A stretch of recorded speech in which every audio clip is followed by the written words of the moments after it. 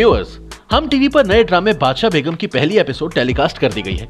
बादशाह बेगम में सस्पेंस है थ्रिल का भी तड़का है और सियासत भी। पहली केस्ट ऑन एयर होने के बाद देखने वालों ने इसके मुतालिक मिला जुला रद्द अमल दिया। ट्विटर पर किसने क्या लिखा ये तो हम बताएँगे ही, मगर जरा पहले ड्रामे की कहानी, इसकी कास्ट और पहली किस्त पर बात हो जाए। ड्रामे की मेन कास्ट में शामिल हैं जारा नूर अब्बास, यासिर हुसैन, फरहान सईद, अली रहमान, कोमल मीर, सुमन अंसारी और शहजाद नवाज़। ड्रामे की कहानी घूमती है एक पीर, शाह आलम और इसके बच्चों के गिर्द। पीर शाह आलम का कैरेक्टर परफॉर्म कर रहे हैं शहजाद नवाज़। फरहान सईद बने हैं शाह जुहेब और इसके छोटे भाई मुराद का किरदार निभा रहे हैं अब्दुल हसन। ये दोनों पीर शाह आलम के बेटे हैं।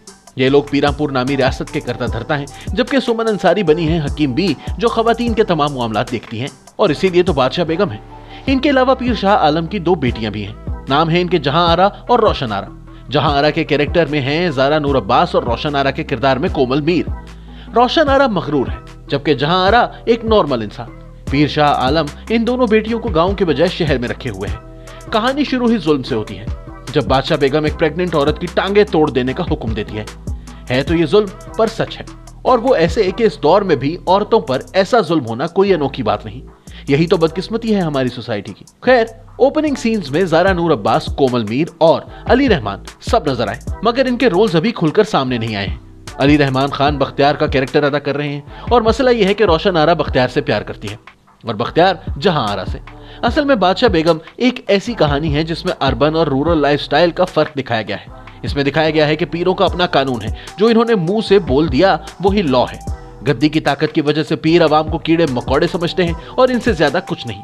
पीर शाहजेब पीर शाह आलम का गाँव में जानशीन है। इसका भाई मुराद बिगड़ा हुआ है, जबकि कैसर खान, जिसका किरदार यासिर हुसैन निभा रहे हैं, इसकी शाहजेब से लड़ाई है। पहली एपिसोड देखकर तो ऐसा लग रहा है कि तमाम एक्टर्स ही अपना कैरेक्टर बेहतरीन तरीके से अदा कर रहे हैं। मगर पहली किस्त में कहानी कहाँ खुलती है भला? जैसे जैसे कहानी मजीद खुलेगी, सबकी परफॉर्मेंस खुलकर सामने आ जाएगी। मगर एक बात है पहली किस्से ही ये पता चल गया कि इस टाइप का ड्रामा पाकिस्तानी टीवी स्क्रीन पर काफ़ी अरसे बाद देखने को मिला है। और अब बात इस ड्रामे पर अवामी रिएक्शन की। ट्विटर पर ज़्यादातर लोगों ने पीर शाहजेब के कैरेक्टर में फरहान सईद को खूब पसंद किया है। कुछ ने तो इसे ड्रामे की जान करार दिया। एक सारिफ ने लिखा कि पीर शाहजेब ऐसा कैरेक्टर है जो बगैर किसी वार्निंग के आपको इम्प्रेस कर जाता है। अगरचे कई बार आपको इसके कुछ एक्शंस पर एतराज़ भी होता है। जी शांत ने ट्वीट किया कि इस ड्रामे को तो नेटफ्लिक्स पर होना चाहिए था। अब्दुल रहमान ने लिखा कि बादशाह बेगम की पहली किस्त ही बहुत शानदार थी। हर एक्टर ने अपना कैरेक्टर बेहतरीन अंदाज में निभाया। एक और सारिफ ने जारा नूर अब्बास और अली रहमान की तस्वीरें शेयर करते हुए लिखा कि जितने नज़र आते हैं, इतने हम आज़ाद नहीं हैं। आज़ादी महज एक धोखा है धोखा, लेकिन कुछ लोगों ने इस ड्रामे पर तनकीद भी की। बादशाह बेगम इनके मैार पर पूरा नहीं उतर सका। अहमद ने ट्वीट किया कि बादशाह बेगम ने इन्हें मुतासर नहीं किया। एक शख्स ने तो गेम ऑफ़ थ्रोन्स के किरदार खाल ड्रोगो का कंपैरिजन यासिर हुसैन के किरदार पीर कैसर से कर डाला, और वो भी मजाही अंदाज में। उन्होंने खाल ड्रोगो की तस्वीर पर लिखा, खाल ड्रोगो दिखाना और यासिर हुसैन की तस्वीर पर कैप्शन दी कि जरा सस्ते में दिखाना। मल्ही ने लिखा, ड्रामे का बहुत बुरा आगाज़ हुआ। बिल्कुल बकवास।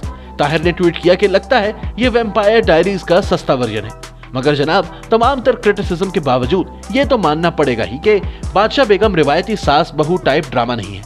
अगर आपको ये वीडियो पसंद आई हो तो इसे लाइक और शेयर कीजिए।